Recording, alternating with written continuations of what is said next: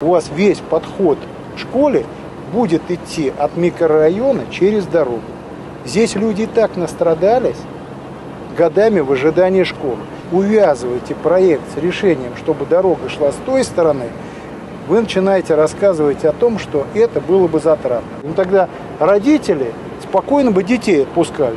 А вам надо еще, лучше всего, вот эти гаражи выкупить, снести, тогда здесь может быть и парковая зона. Но самое главное, дети тогда будут идти в школу не между гаражей в темном пространстве, а они будут идти по э, открытой территории. Мы об этом говорили ровно на этом месте. Бесстыдник по-другому я не скажу, тот, кто эти решения принял, потому что ему объяснили, 10 раз говорили, такие не должны работать в системе ни муниципальной, ни региональной власти. Вы же сейчас вот всех ребятишек делаете заложниками этой дороги. Они у вас пойдут э, во внеучебное время на спорткомплекс, они пойдут в школу через вот эту дорогу. Вот посмотрите, они как там ездят. Вон, посмотрите, один с другим.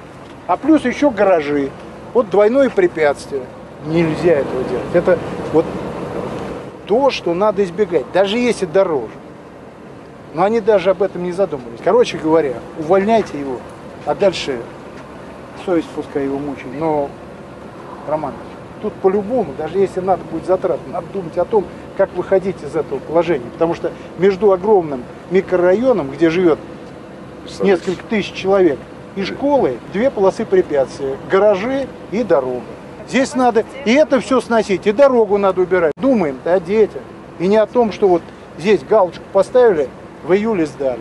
Мы собирались, и вы мне план показывали, как дорога здесь пойдет. Вы решения как такие принимаете? Мы говорим об одном, а потом все совершенно по-другому получается. Да, Почему об этих решениях никто не знает?